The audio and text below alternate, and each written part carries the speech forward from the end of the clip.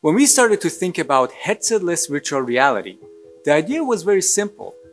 Can you mimic a headset-like experience by engineering the light around the user instead of forcing them to wear a device? As an experienced sales professional, joining this organization at this point in history was a no-brainer.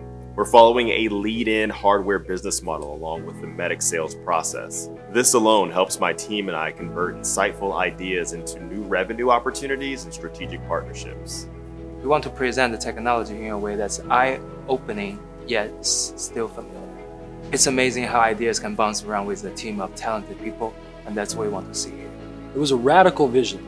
Nobody had ever thought about using wavefront engineering for displays at this scale. I can't even believe that we've already shipped this tech. Playing with light in the range that we require, we're actually discovering and implementing new physics.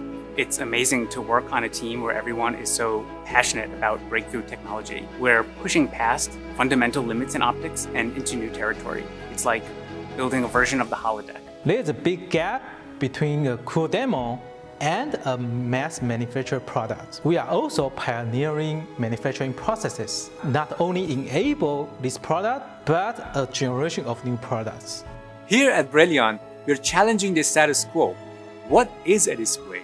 And how can we disrupt an invention that more than half the population uses most of the day, most of their waking hours? This is history in the making. Come join us.